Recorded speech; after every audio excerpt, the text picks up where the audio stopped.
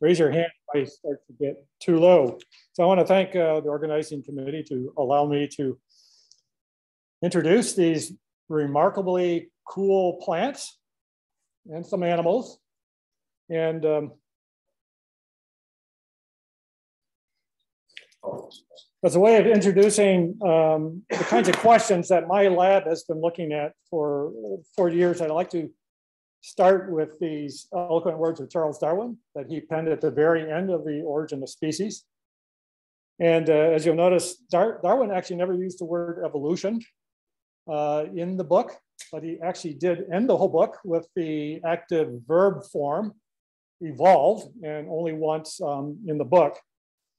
And uh, basically, um, my research is centered on the how, when, and where these endless forms, most beautiful and wonderful, uh, have um, evolved. And I use it, I answer those questions in a tree metaphor or a phylogenetics perspective, as Darwin also uh, introduced in the uh, origin of species. My research has kind of focused on kind of four pivotal areas of this tree of life uh, metaphor. Um, and you'll see it become important as we talk through this example of salvia and the sages. First, it's clear that many branches in this uh, tree of life simply have not radiated very extensively, or they have gone extinct at a higher rate than others. Others, uh, here's the flowering plant uh, branch, have actually undergone tremendous speciation relative to its sister group. And in fact, the flowering plants have done it in just a, uh, an incredible array of ecological settings. So much so that we often talk about the adaptive radiation of flowering plants. Similar, we've talked about the adaptation of cichlids or whatever. A second uh, aspect of this um, tree of life is that um, there's also interactions with uh, other branches uh, in the tree. And I'll be referring to the insects uh, here, but also later in the talk, which is the largest branch uh, in this tree of life. And in fact, estimates of species numbers of that branch today still can vary by an order of magnitude. So we really don't even know much about some of the, the tips of these branches. So species interactions with some of these other branches is important. The flowering plants haven't evolved on their own. They have interacted with other uh, parts of this tree of life.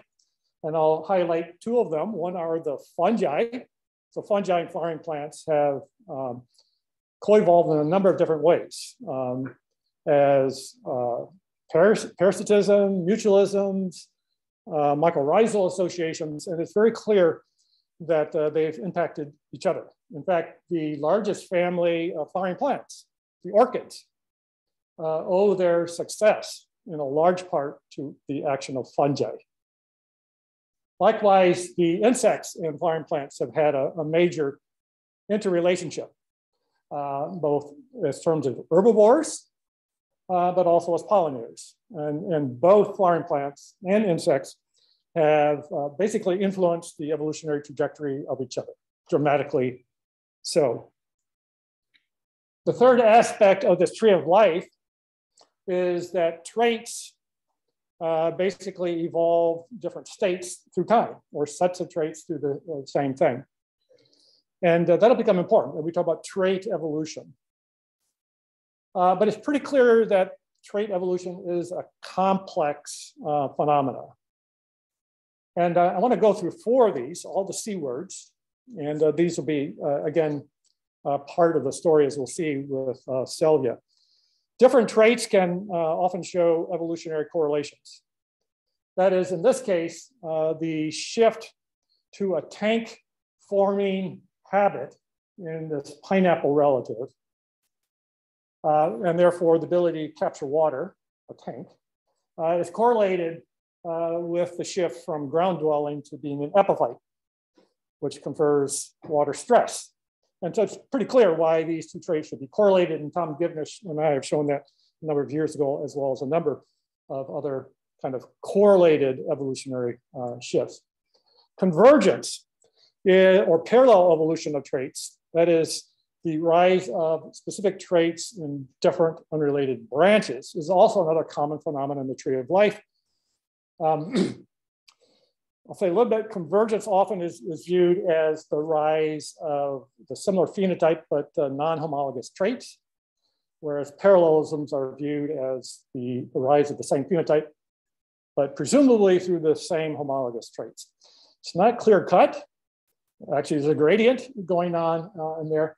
And we and it's still actually the case here. Years ago, we, we showed that the major uh, production of mustard oils or glucosinolates, defensive compounds that uh, arose what apparently looked like in 17 different families, unrelated, actually, based on the DNA, DNA evidence, are all confined to one order, the mustard oil, Brassicales, and in one genus of a totally unrelated order, as you can see there, Malpighiales. And it's actually still not clear whether this is convergence or parallelisms, but that's very common in the tree of life. The third feature or character is contingency, and this is another very difficult to define uh, term. Uh, historical processes such as trait evolution uh, can all also display um, some degree of what we call contingency, meaning that prior events affect the future outcome of traits, okay? Contingency, however, has been viewed differently by different evolutionary biologists. And the famous debates from 20, 30 years ago between Stephen Jay Gould and Simon Conway Morris exemplifies that kind of disagreement on what is con contingency. Contingency often involves the idea of unpredictability or unrepeatability. I prefer to see it uh, in the second definition here, in a very nice paper John, by John Beatty in the Journal of Philosophy, where contingent uh, trait I'll refer to is where uh, a trait evolves only because another trait or trait state has evolved before it, okay? Um, we'll be looking at some examples in Salvia in just a second. And the last one is uh, constraint. Evolutionary constraints are, are basically limitations, biases um, on the course of adaptive evolution. Uh, the term usually describes um, the idea that there's a limit or channelization of trait uh, evolution. Um, that's probably best articulated by Gould and Lewontin already back in 1979. However, a number of evolutionary biologists view this in a more positive sense. It's not just kind of a, a negative sense, but that in fact, uh, the uh, role of barriers that might limit or channel uh, uh, this adaptive evolution might in fact open up new avenues of uh, uh, opportunities and make groups very successful in those new channeled uh, areas of trait exploration. So we'll take a look at that in a little bit um, as well. A long-standing example of such constraint has been in um, plant-animal interactions in terms of pollinators. And the long-standing idea, and this goes back to Grant and Grant's seminal uh, chapter on looking at plant pollinator inter, uh, interrelationships in the phlox family, Polemoniaceae, is that uh, the shifts that give rise to vertebrate pollination syndromes, like bird or bat, are basically evolutionary dead ends. Once they get there, they don't shift anywhere else. They just have to speciate within as birds or bat pollinated species and not shift to other kinds of pollinator systems, which are common with insects and other things. Now, a number of people have started to show with molecular based approaches that this is not necessarily the case. This constraint might not be uh, a dead end. Um, in fact, Jeff Rose, uh, former grad student of mine, now postdoc, uh, showed that in this family itself, based on the DNA tree, that there are in fact multiple shifts and shifts can go to birds and bat. Although it does appear that bats might be a dead end. They tend to be very recent origins and they might not be shifting back to other types. And as you will see later, this is probably pretty relevant to what we'll be talking about uh, with the story of Salvia, the sages in the uh, neotropics. The fourth aspect of this tree of life is probably the most obvious, and that is that uh, species are connected by genealogical uh, event, descent, uh, ancestor descendant branches, basically. And if evolution has occurred, uh, we assume that we can actually find uh, this evolutionary history, uncover it as one or more phylogenetic trees, okay? So the, the framework I'm talking about needs this kind of uh, tree putting together in order to talk about trait um, evolution. But I want to point out that this is also a very complicated and complex endeavor. We, we assume there's a tree that Charles Darwin wrote about in The Origin of Species in botanical lavish terms about ramifications, trunks, and branches, and so on. I should point out that Darwin's really a botanist. He wrote more books on botany than on animals. People don't realize that. But uh, he loved the, the, the, plant metaphor. The problem, of course, is we don't have the trees. We don't have the woodiness. We don't have the trunks. So we, we have to stitch together uh, the leaves, inferring that there had to be some woody branch, branches uh, in there. And of course, the leaves of the tree, all that we're left with, maybe some extinct leaves as fossils, um, aren't nicely hanging out in space like that for us to kind of stitch things together, right? And that's because there's biogeography. Different areas of the world have clumps of unrelated or related species compounding this effort to estimate this tree. This is an estimation process. Again, it's not simple, it's an estimation process. Then of course they can diverge or they can converge and form. So it becomes a really difficult um, task. And that's why my lab has been over 40 years, basically saying we need to assess the tree on independent data, not on the characters themselves, the traits, but use something else. We've always been using uh, DNA for that since the 1980s, basically, when some of this started. And so, in fact, what I'm going to be talking about in terms of these issues of diversification, species interaction, trait evolution is in the framework of a genomic tree. So what we are using, I won't go into any more details here, except to say that we have about half the species of this genus, a Illumina sequence for about 500 genes, nuclear genes, in the complete chloroplast genome. And we are using that then to look at these different uh, diversification processes, species interaction, and trait evolution. Now, I do want to point out, uh, we just published this, that there are disagreements between different nuclear genes. And there's some disagreement between nuclear genes and the chloroplast genome.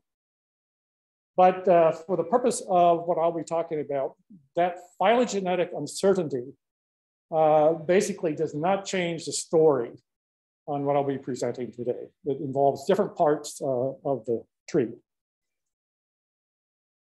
Okay, so I'd like to first highlight uh, a number of features of this salvia uh, model system. So you're uh, up to speed botanically, perhaps in terms of what's going on.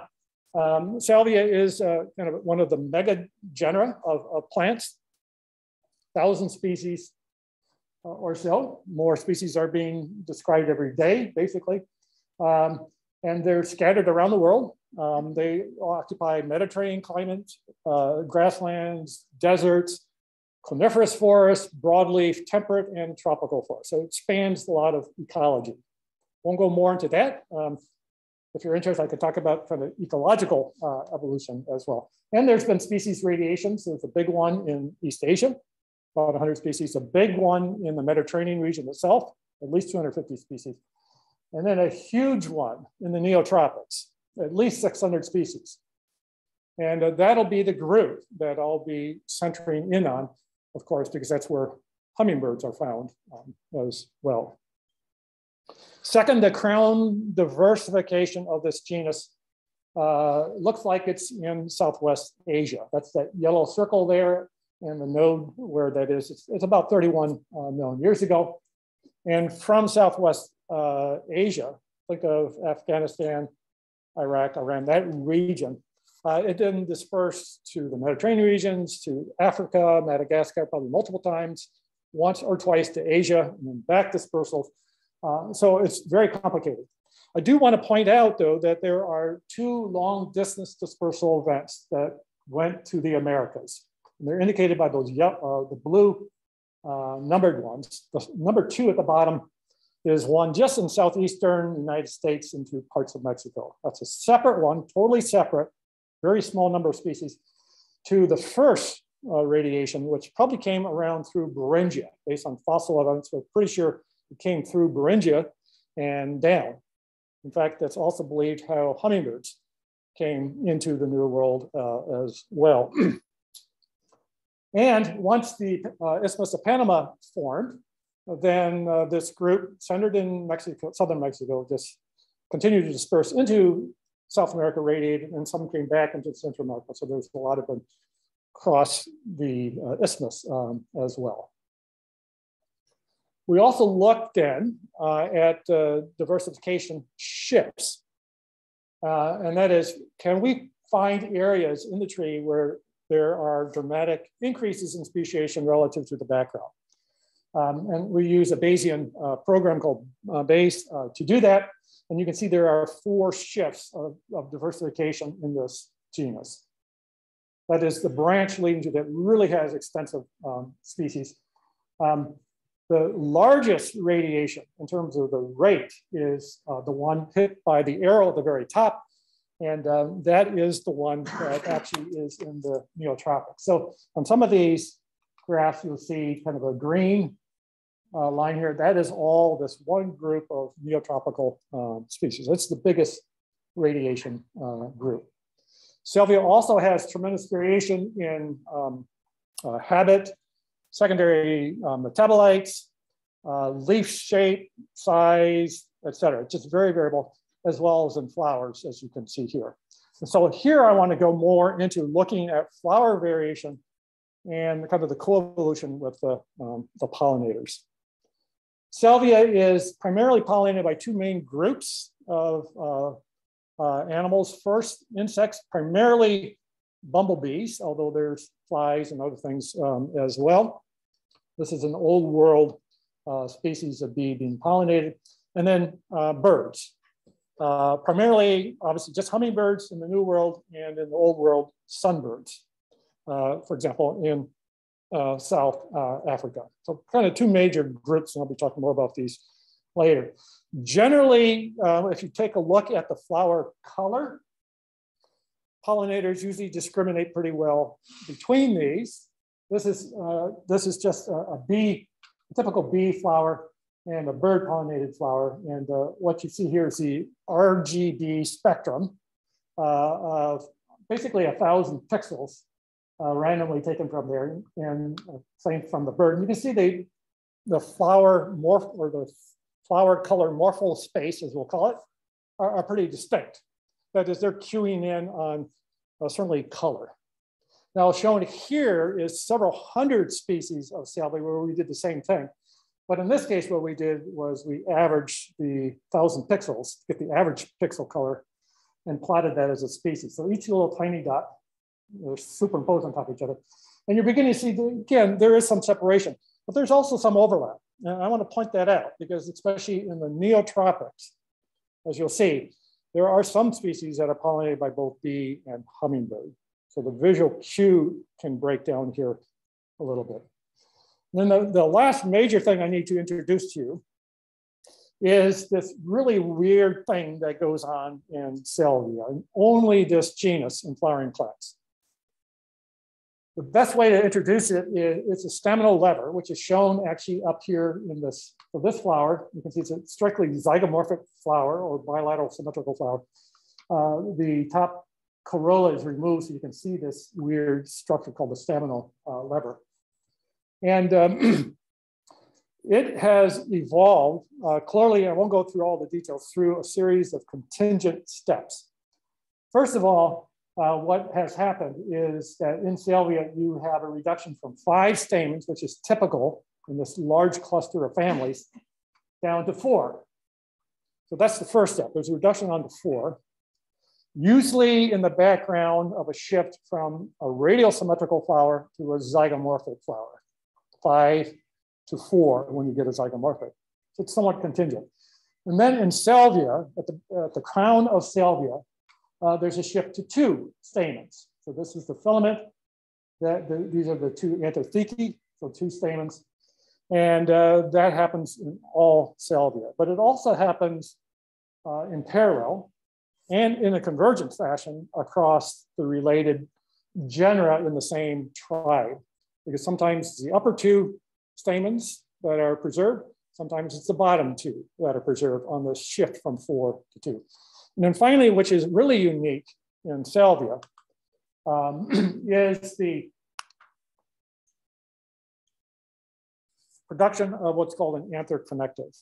So bear with me here. This is a complicated structure. So typically in a stamen with the filament, these are the, these are the anthers of it. There's a few little cells that separate the two anther thecae. That is called the connective, the anther connective. In salvia, what has happened is that that anther connective has just started to elongate into this own really bizarre uh, structure. That's shown in gray. You can see that here as well and here as well. And concurrently with that, uh, the staminal filament, the thing that protrudes the pollen-bearing structure, the anther, out of the flower, gets smaller and smaller and smaller. And in fact, what you see now is the filament is that little thing right there. This is the anther uh, connective. That's an anther connective. That's the fertile uh, portion there. And in some cases, the, the bottom anther thecae, the other half, uh, get sterile and sometimes fuse with the same thing from the second stamen. So they form this weird structure. It's basically a teeter-totter or seesaw, a fulcrum, the filament being the fulcrum and the connective being the, the long seesaw itself. And then what actually happens then in this case is that the pollinator, in this case a bee, comes in and hits that little paddle structure and then the fertile pollen bearing anthothecae come down and deposit pollen on very specific places of the pollinator. And depending on the size of the pollinator, depending on the size, the architecture of, this, of that staminal lever, you get deposition in quite different areas. It's promoted speciation in that way. And that's why it's been called a key uh, innovation. Now we have shown that there's tremendous variation in the staminal lever across the genus Salvia, tremendous variation. In fact, it's even more remarkable now that because based on uh, DNA evidence, we can show that there are five small genera shown with the little red asterisks that used to be called different genera altogether, like rosemary, Russian sage, not believed to be part of salvia. They're embedded in there. They're salvias, but they're they have very slightly elongated connectives, and they don't form these really elaborate staminal levers. When the staminal levers do form, it's pretty clear that there's bursts of speciation, huge numbers of speciation, okay? So this could be convergent, it could be multiple origins, which we suspect, but theoretically it could be one origin with subsequent loss of the anthoconnector. It doesn't seem right though, based on the, the weird ways that some of these staminal levers have evolved. So probably convergence, um, it could be parallel that structure um, has been implicated in really cool studies by Klaas and their students in Germany, where they did field studies, they did mechanical studies, they looked at the fulcrum, functional, how much weight is needed to do this stuff. But it's clear that the pollinators are impacting the shape of that staminal lever. You can see very curved staminal lever here for bee pollination, and in this neotropical hummingbird pollination, it's basically a straight lever because the bill of the hummingbird is straight. So our first hypothesis that we want to test with uh, the data is that, uh, in fact, there is this set of correlated changes you might expect in the flower. Corolla, corolla shape, the uh, connective, that weird staminal lever mechanism, and the shape of the style, the part that receives the um, pollen. Now, as we began to look at this, it became clear that in the neotropics, it looked like there were some uh, species that were pollinated by bees that might have come from a hummingbird ancestor. But they had very atypical bee floral forms. They looked like they were hummingbird flowers, but they were pollinated by bees. Okay, so they didn't look like normal old world bees uh, at all.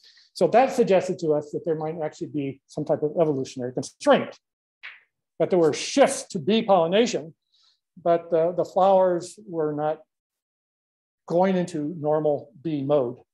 They were into hummingbird mode, but being still very uh, um, uh, pollinated by bees. So we wanted to test that idea as well. So what did we need to do? First of all, we need the phylogenetic tree, as I indicated.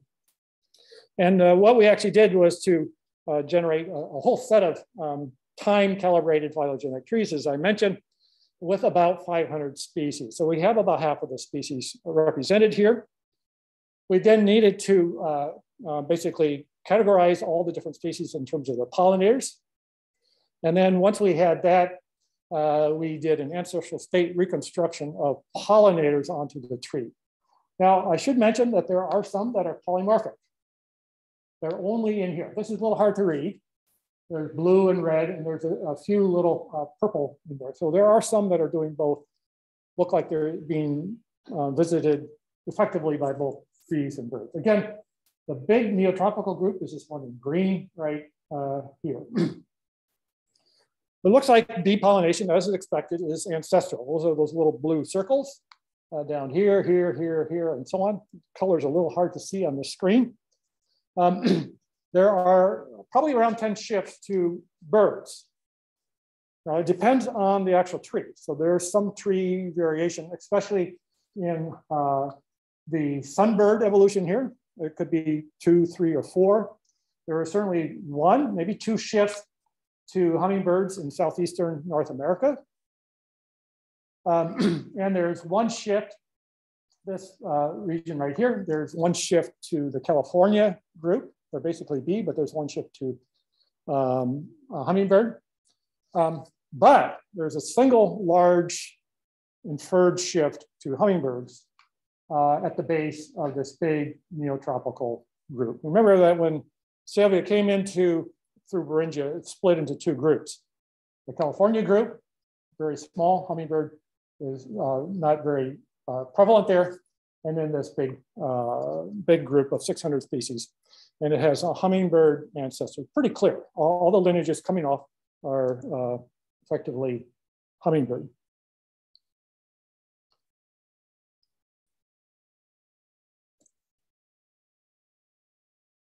Within that big group,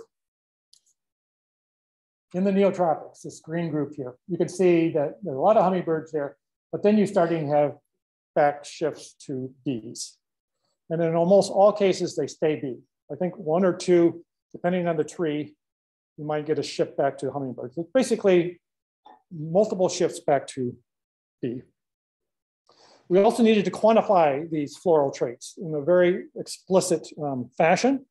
And so what we did was using um, um, flatbed scanners of actually whole plants, leaves, uh, flowers, flower parts.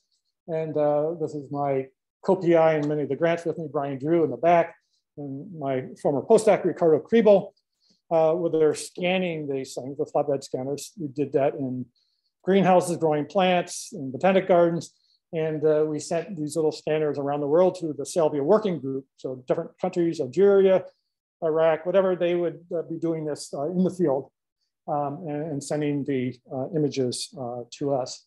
So this is an example of what those um, flatbed scanners can do. This is now kind of what we call species plate. And I just want to highlight the top two are bee pollinated uh, species. And you can see that with the curved uh, style and curved kind of the, the curvature of the staminal lever. This one's really curved here as you can see. And these two are bird pollinated and they have very straight styles, female part and um, the uh, anther uh, connective. You can then take those shapes, whatever you're interested in. In this case, we're looking to look at uh, corolla. We're going to look at the, the anther connective and the style. So the male and the female uh, part. Basically, the scan images then were landmarked. We use three landmarks, for example, for the corolla to to orientate them relative to other corolla. And then we use the um, Momocs package, which is an elliptical Fourier analysis. It's basically a mathematical tool to fit curves to a closed shape. It's very mathematical uh, derived, but what you can see here are the, the derived elliptic Fourier uh, outlines of several hundred species of salvia, just kind of superimposed uh, using these three landmarks, okay? So that's the elliptical Fourier uh, data is kind of, think of it as a big mathematical representation of the shape, You can then use principal components basically to find the, the, uh, the PCs that are uh, explaining a lot of this shape uh, variation. I'm going to show the three that come out of this, first three. That's the mean shape, but you can see that each one of the PCs are, are capturing different parts of that, uh, the different variation in shape. Um, and then you can then take uh, for each species and, and plot it. In this case, we have kind of a hypothetical morphospace in the background. The realized morphospace or the dots of individual species plotted against uh, PC1, which is that, PC2, which is that. And you can see that actually explains about 75% of the shape variation. So that's just kind of visualizing it. And you can see just for sake of uh, visualization, what we have here is a red circle, uh, a blue circle. Those are the 50% confidence uh, ellipses for all the variation. There's some overlap, but the 50% confidence ellipses are clearly different. Bird and bee pollinated uh, um, uh, corollas are different.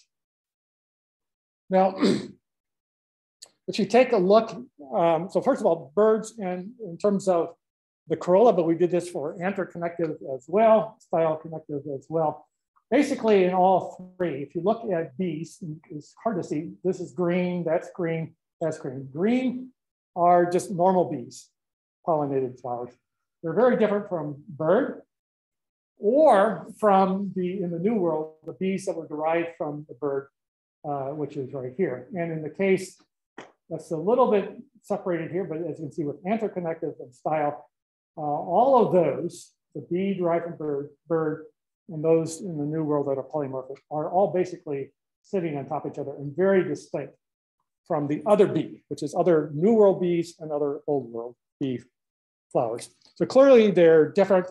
And the fact that the bee flowers from the New World derived from that hummingbird ancestor look like bird flowers in these traits suggested to us that um, what we might in fact be seeing is this phylogenetic constraint.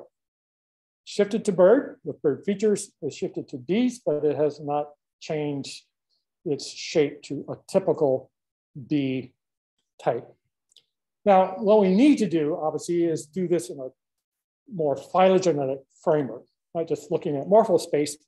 And so to test these hypotheses more rigorously, uh, we used a couple different um, uh, Bayesian-based programs that look at uh, trait evolution on a tree. The first is using the uh, Bayesian analysis, which is really kind of a um, uh, an Ornstein Uhlenbeck lasso process model developed by Cécile Ané in our department in statistics um, that will look for across a tree shifts in the shape. And this could be any shape. You can do with animal shapes, flower shapes, whatever. We're obviously using these three characters here. and it'll tell you where there are dramatic shifts, big jumps in shape um, evolution. The second one is another OU uh, model, which allows you to look at, um, uh, in this case, we're using the PC1 uh, values of shape uh, variation. And you can start to vary things like uh, evolutionary rates, uh, the phenotypic optimum that it's moving to, the selective um, force on it. and you can do that for different clades on the tree. And so it's a really powerful um, tool. And then finally, I'll show at the very end uh, using a, a Bayes traits analysis where we can begin to look at correlation and contingency of binary traits, okay? You can't really do this real effectively yet with continuous traits, which we're looking at here. Okay, we, we did each one of those three separately as a univariate analysis, and we what I'm showing you here is the multivariate analysis. So all the data of uh, all three characters were uh, simultaneously looked at. what you can see, it's a little bit hard to see perhaps from uh, by color, but uh, what you're looking at here are different colors, that, which are different regimes that this program is finding uh, on the tree. Um, and basically, uh, this is the, kind of the mean trait of corolla, of anther, connective and style. And these would be the extremes. It would be kind of bird. Think of this as bird, bird, bird, bee, bee, bee, okay? With the mean in the middle. And what you're seeing uh, at uh, this node right here, this is where everything starts to turn red, this color, not that node, I'll get back to that in a second. They're all showing a big shift in these three colors at exactly the same node or same branch. I do want to point out that uh, there is a branch just below it that goes there. This is actually part of that neotropical group as well. So there's kind of a division at the very base.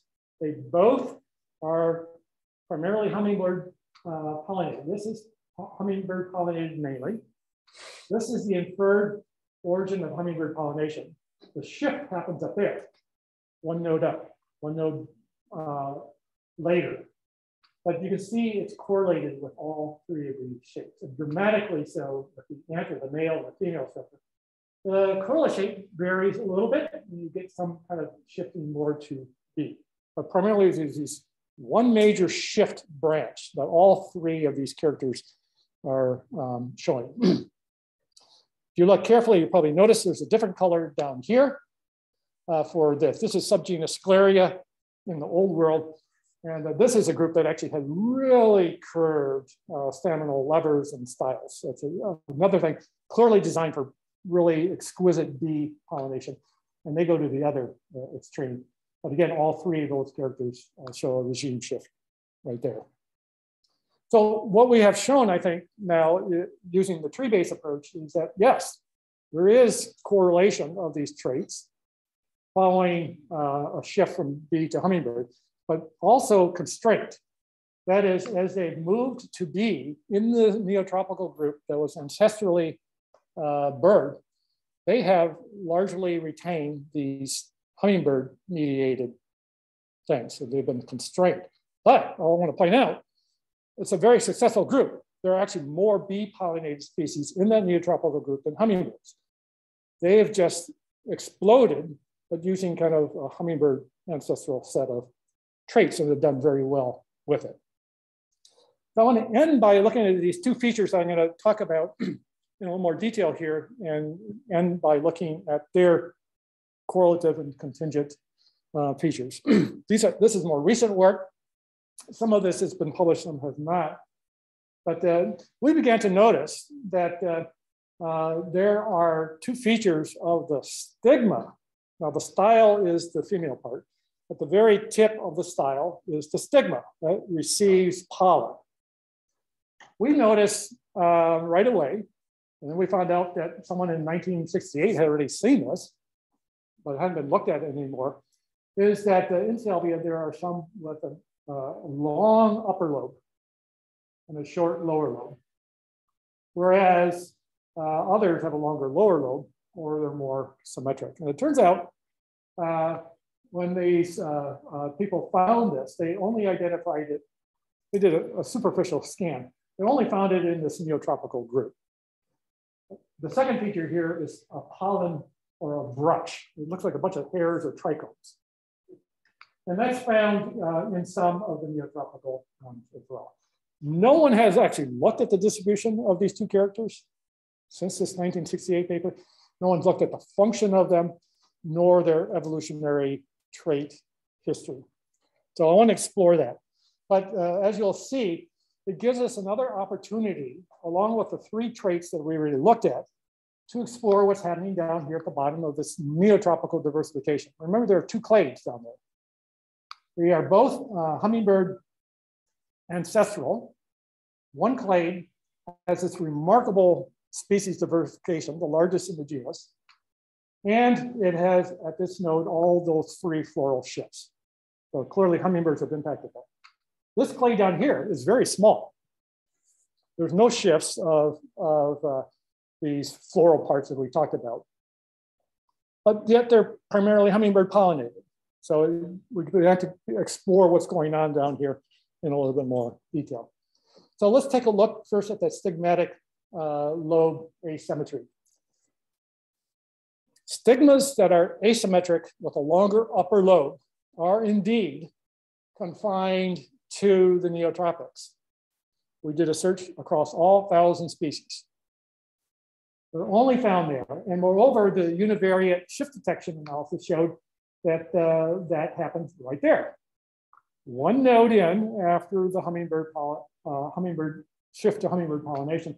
And uh, as you see, it is not found in that same sister group, part of that neotropical clade, which is also hummingbird pollinated and doesn't have these other traits. It doesn't have this trait as well. So we have four traits now uh, here. Now you will see that there are some shifts back, some regime shifts back to kind of the background bee pollinated. So there are a few things moving back.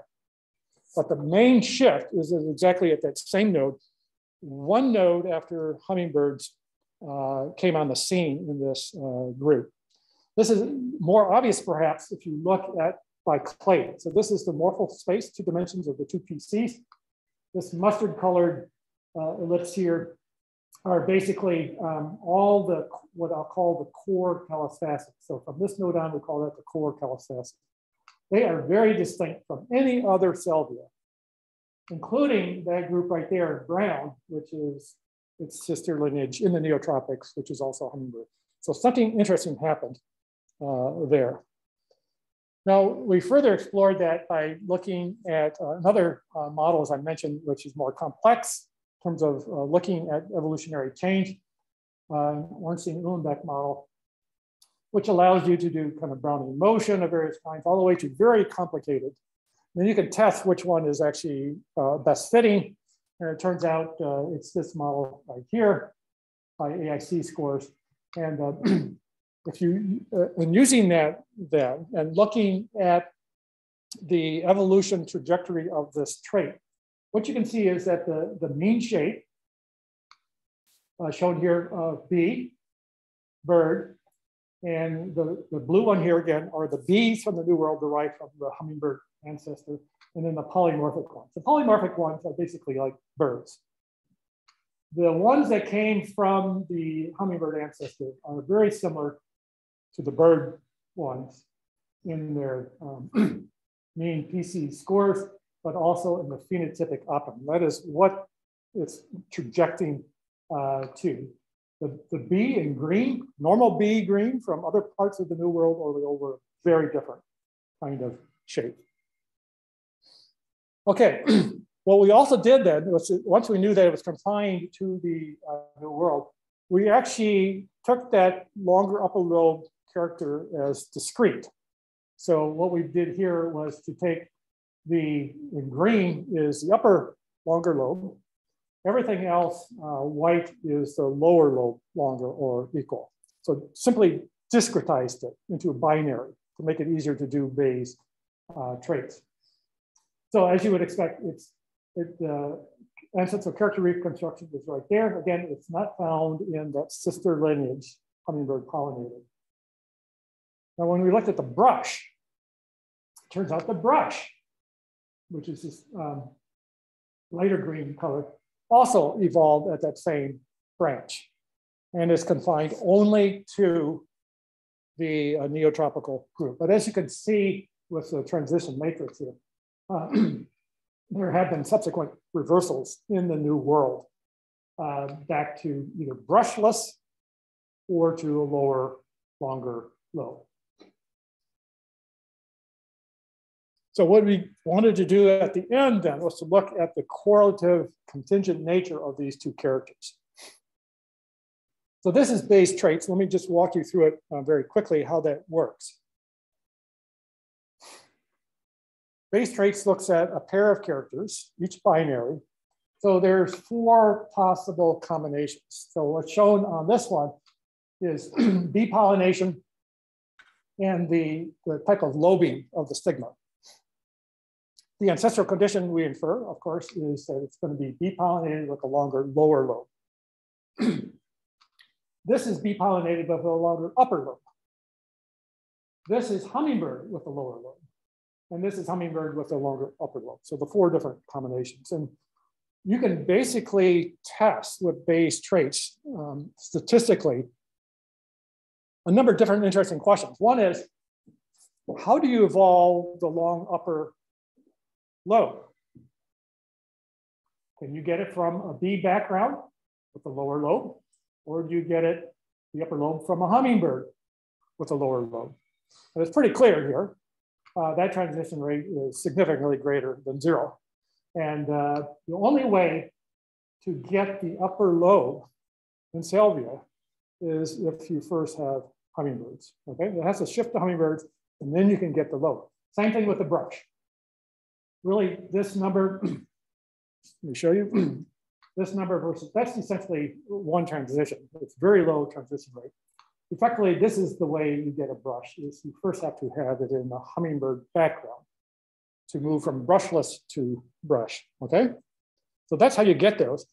Now, once you get those two in a hummingbird background, that is the upper lobe and the brush, then it's pretty interesting. What happens is you can get uh, um, shifting to uh, bee with the upper lobe from here, lots of times, and a lot of times back. Same thing here, a lot of times from a hummingbird to the bee with that, that brush and, back. And this only happens in this neotropical group, just back and forth um, transitions. Now, I do want to say there's something noteworthy about this uh, that we're still working on, and that is it appears that the brush, these are correlated, but it appears that the brush is more intimately connected with that upper lobe than vice versa.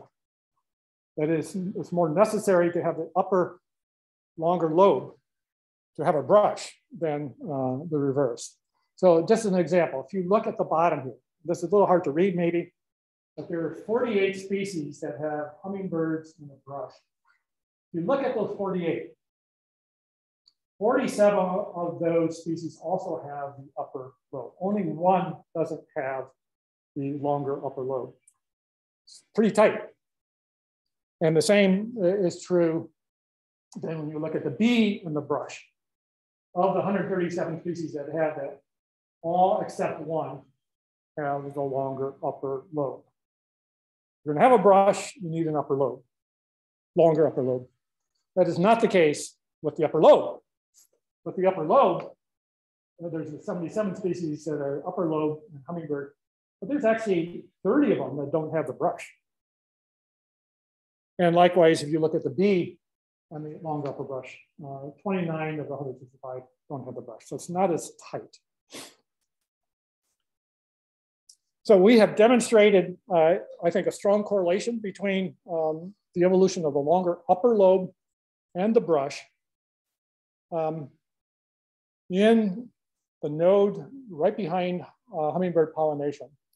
And that there's been lots of them shiftings back and forth between um, with bee pollination. The functions of that upper lobe, you might be asking, and the brush really have not been studied in salvia. And uh, I'll just present two working hypotheses here that we're looking at with experimental data in the field.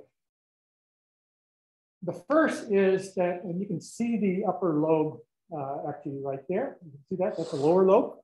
This is probably the receptive part of the stigma. This upper lobe appears to act as a hinge underneath the corolla to kind of keep everything in place. And that makes sense in terms of hummingbird flowers. They have very long, skinny styles. And having that little hinge just stabilizes that style and presents that uh, uh, receptive area of the stigma to allow for really greater precision of pollen take-up. So we think it has to do with precision of pollen uh, um, receptivity there.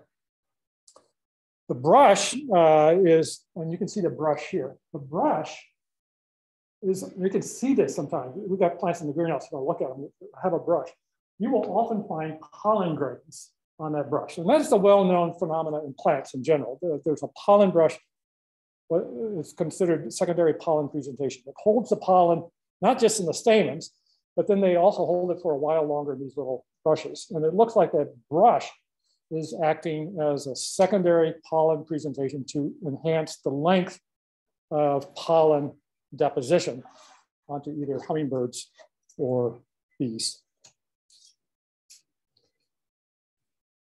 So in conclusion, I've demonstrated five different traits where they all appear to have correlated evolution on one node uh, soon after the origin of hummingbird pollination in the neotropics. The shift to neotropical hummingbird pollination from bee around 20 million years ago seems to have set up this uh, series of events with drastic changes in whole sets of floral features. The corolla, male parts, female parts, um, allowed for a dramatic, one of the most dramatic radiations in the neotropics is this group of, of salvia. But keep in mind that uh, it wasn't at the expense of bees. Bees co-opted this as well, even though they're using hummingbird floral traits and have themselves diversified tremendously. So thank you. I do want to acknowledge uh, some of the people working with me. Of course, Brian Drew from University of Nebraska Kearney, uh, who's been my co-PI in a couple of grants. Postdocs, Ricardo Kriebel, I showed Jeff uh, Rose is a postdoc on this grant as well. Two graduate students who worked on a lot of the DNA work. Alexa is still in my lab. Chloe is now an assistant professor elsewhere. And then a number of undergraduate students, two of these that were on some of our publications. Lucy is actually a, graduate student now in Ken Keefover-Ring's in, in botany. And then a whole host of visiting scientists. We couldn't do this project without actually the Salvia working group, this faceless group of people all over the, the world who provided material, scans, and our, our co-authors uh, with us. But a couple of them came to our lab as um, well. So I acknowledge the funding as well from various different sources. Well, thank you.